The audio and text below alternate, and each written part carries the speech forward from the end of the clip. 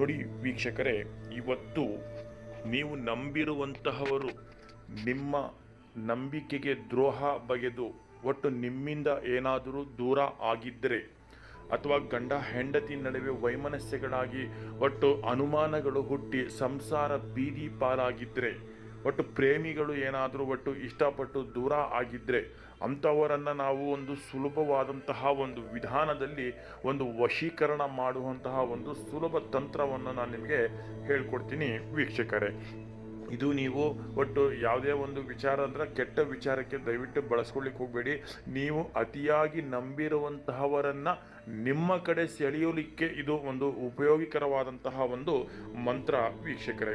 ನೋಡಿ, ಇದನ್ನ ಈ ಒಂದು ಮಂತ್ರವನ್ನ ನೀವು ಬುಧವಾರ ದಿನ ನೀವು ರಾತ್ರಿ ಮಲಗುವುದಕ್ಕಿಂತ ಮುನ್ನ ಮಾಡಬೇಕಾಗುತ್ತೆ ವೀಕ್ಷಕರೇ. ಜ್ಞಾಪಕದಲ್ಲಿ ಇಟ್ಕೊಳ್ಳಿ ಇದು.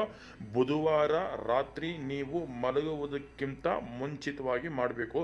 ಹೇಗೆ ಮಾಡಬೇಕು ಇದರ ನಿಯಮಾವಳಿ ಏನು ಅನ್ನೋಂಥದ್ದನ್ನ ನಾನು ನಿಮಗೆ ತಿಳಿಸ್ಕೊಡ್ತೀನಿ. ನೋಡಿ, ಬುಧವಾರದ ದಿನ ನೀವು ರಾತ್ರಿ ಹೊತ್ತು ಒಂದು ಸ್ವಚ್ಛವಾಗಿ ನೀವು ಶುಭ್ರವಾಗಿ ನೀವು ಸ್ನಾನ ಮಾಡ್ಕೊಂಡು ಬನ್ನಿ ವೀಕ್ಷಕರೇ, ಆಯಿತಾ?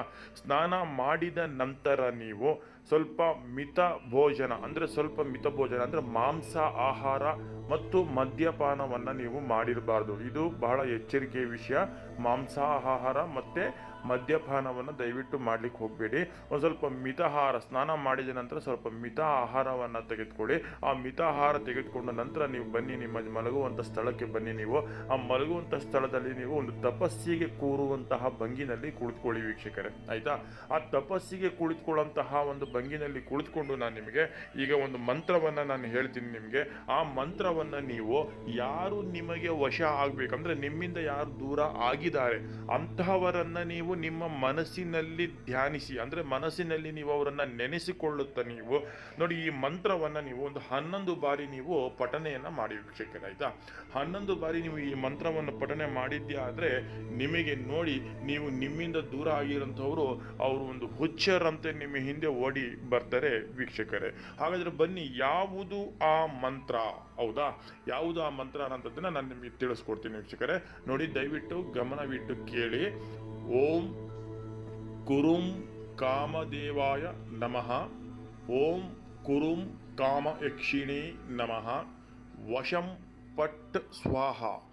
ನೋಡಿ, ಈ ಮಂತ್ರವನ್ನು ನೀವು ಹನ್ನೊಂದು ಬಾರಿ ನೀವು ನಿಮ್ಮ ಮನಸ್ಸಿನಲ್ಲೇ ನೀವು ಪಠನೆ ಮಾಡಿ ಆ ವ್ಯಕ್ತಿ ಅಂದರೆ ನಿಮ್ಮಿಂದ ದೂರ ಆಗಿರುವಂತಹ ವ್ಯಕ್ತಿಯನ್ನು ನೀವು ನೆನೆಸಿಕೊಳ್ಳುತ್ತಾ ಹನ್ನೊಂದು ಬಾರಿ ಪಠನೆಯನ್ನು ಮಾಡಿ ನೀವು ವೀಕ್ಷಕರೇ, ಅವರು ಎಲ್ಲೇ ಇದ್ದರೂ ಯಾವುದೇ ಜಾಗದಲ್ಲಿ ಇದ್ದರೂ ಎಂತಹ ಪರಿಸ್ಥಿತಿನಲ್ಲೇ ಇದ್ರೂ ಕೂಡ ಅವರು ನಿಮ್ಮ ಹಿಂದೆ, ನಿಮ್ಮ ಬೆನ್ನ ಹಿಂದೆ ಅವರು ಹುಚ್ಚರಂತೆ ಓಡಿ ಬರ್ತಾರೆ ವೀಕ್ಷಕರೇ. ಹಾಗಾದ್ರೆ ಬನ್ನಿ, ನಾನು ಇನ್ನೊಮ್ಮೆ ನಿಮಗೆ ಆ ಮಂತ್ರವನ್ನು ನಾನು ನಿಮಗೆ ಹೇಳ್ತೀನಿ.